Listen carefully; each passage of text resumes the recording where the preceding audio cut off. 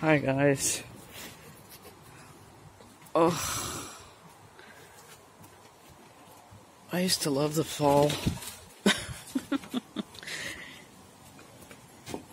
I am feeling really bad physically. Anyways, I am going to harvest. Uh oh.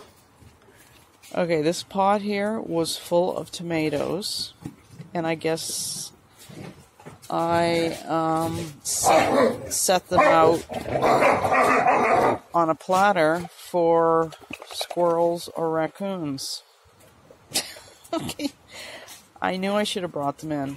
Anyways, I am going to bring all the tomatoes I have inside and I am doing something with Simple Grower, a test to see how they ripen inside, which I will show you, but let me get all these plants down. It's all gone. I left some of the um,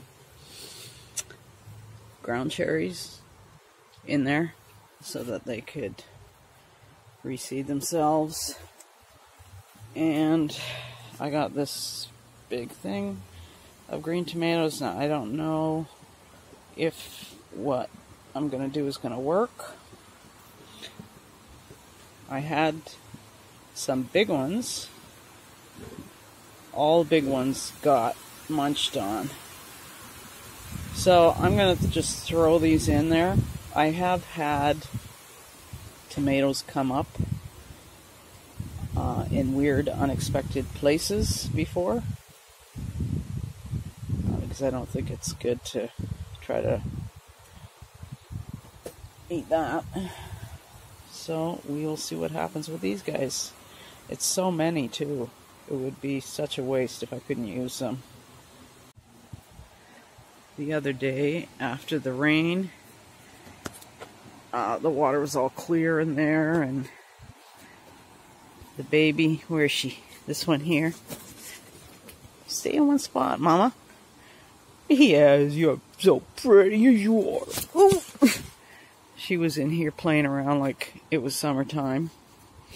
And then look what happened to my umbrella. wow, I mean, this was brand new. And it's gotten hooked on. See how the vine has wrapped itself? I mean, it is hard. I can't even get that off with my hand. Uh, so I gotta figure something out. Cut it off and toss this umbrella out. Another umbrella bites the dust again. These gross things with the warts.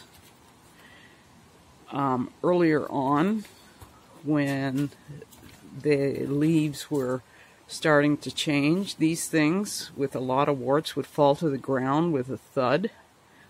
Disgusting. And I'm not putting any of the leaves that have the warts in the composter, that's for sure. But I got to deal with this because it can't hang there all, all winter. Hello. Hello, boo-boo. Just wanted to show you a ground cherry. So they come in these little sacks. And they pop out. And they taste different than a tomato. But they're good. Secondary experiment was to keep them in a container, but where they were exposed to the light, and uh, I've just thrown some new ones in there. But they, it has worked for those ones. Just dangerous with the uh, the dogs and the cats. I don't want them grabbing them. Okay, so the experiment is that we are putting our green tomatoes, actually there's some in there that I gotta take out, in a paper bag setting them in a warm spot. I think it was a warm spot, correct me if I'm wrong, to see if they will ripen. Now I have to put these way out of the way because not only do I have dogs, but I have cats that like to um, take and steal my tomatoes. I actually found a large tomato, like the one you saw in the garden that somebody had taken a chunk out of. Well, I found one of those in the cat's room. It wasn't the dogs, because they're with me all the time.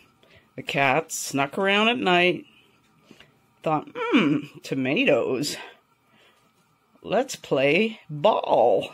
And they dragged it all the way upstairs. Weirdos.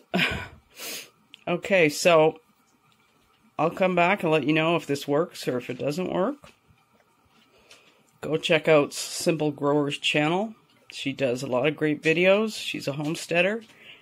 And I'll put the link down below. Thanks so much for watching and have a great night.